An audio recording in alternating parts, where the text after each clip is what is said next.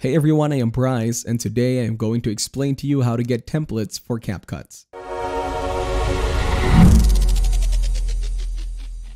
First, you need to install the CapCut application on your mobile device. After that, go to your web browser and type CapCut templates in the search bar.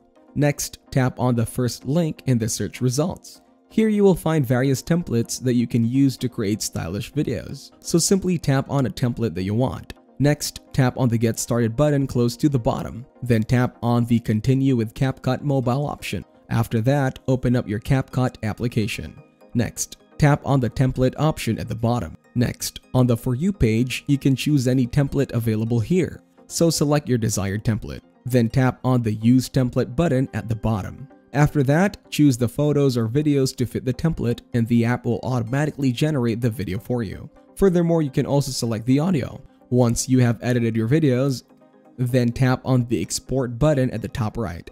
That is how you can easily find templates on a CapCut and use them to create impressive videos with little effort. On that note, that will be it for this video. I hope you guys got some value. Thank you for watching and see you in the next one.